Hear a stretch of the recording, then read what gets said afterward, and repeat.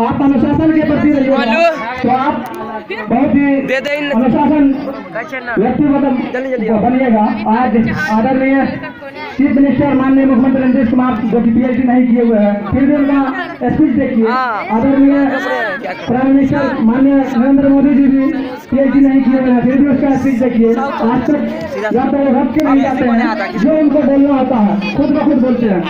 आपको बोलना ऐसे है आदरणीय सभापति महोदय शिक्षक अभिभावकगण छात्रगण एवं दूर दराज से आए हुए हमारे साथियों एवं प्रिय मित्र आप सबको भली भांति पता होगा आज छब्बीस जनवरी गणतंत्र दिवस जो कि संविधान दिवस के रूप में मनाया जाता है। आज हम उसी खुशी के अवसर पर हमें इस 26 जनवरी में एक ताकत मिली जो कि अपने बोलने का खेलने का चलने का पढ़ने का खाने का स्वतंत्रता मिला। और अपने अधिकार का प्रयोग करने का स्वतंत्रता मिला।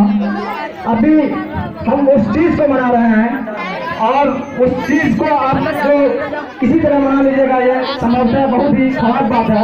आप कोचिंग हम लोग आपके कोचिंग में अभी नहीं पढ़ रहे हैं, इसलिए आपके चीफ गेस्ट हुए चीफ गेस्ट नहीं सॉरी गेस्ट हुए जो चीफ गेस्ट आए थे वो चले गए। फिर भी आप स्टूडेंट है आप परिचय दीजिए आपका टीचर आपके सामने है। आपको अनुशासन का परिचय देना चाहिए।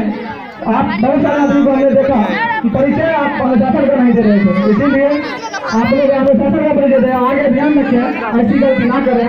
जो कि हमें और सामने वाले को देखने वाले को भी गलत लगे। आप इस समारोह का समापन समारोह होगा जिसके लिए मैं कुछ लड़कियों को चूज़ किया हूँ। और राष्ट्रीय विशेष का समापन समारोह होगा।